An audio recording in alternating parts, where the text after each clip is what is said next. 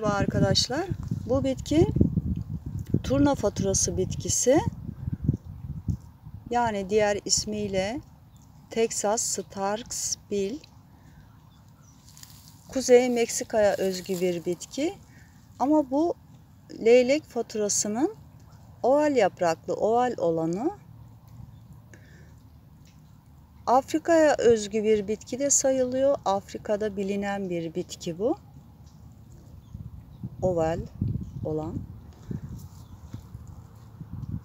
Bodrum'da bulunuyor. Deniz kenarı burası. Deniz yamaçlarında, kıyılarında ilkbahar ayında bu şekilde büyüyor.